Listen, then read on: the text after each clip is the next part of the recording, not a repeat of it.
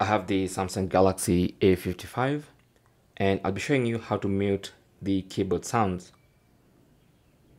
So this is what the keyboard sounds like.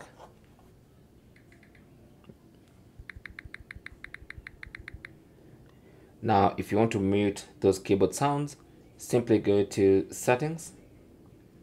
On the settings page, scroll down to sounds and vibration, tap on that.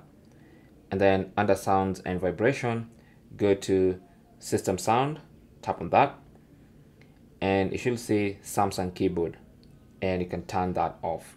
So it should be under sound, sounds, Samsung keyboard, turn off the sound for the Samsung keyboard.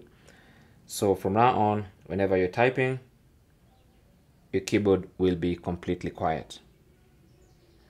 That is basically how to turn off keyboard sounds on your Galaxy A55 if you're using the default Samsung keyboard. Now, if you have a third-party keyboard that you've installed, then you might want to find out how to mute that particular keyboard. So for instance, if you're using Gboard, you can actually find my video on how to mute the Google keyboard or Gboard. But if you're using the default keyboard that comes with your phone, which is the Samsung keyboard, that's basically how to mute those sounds. Thanks for watching. Comments and questions down below and good luck.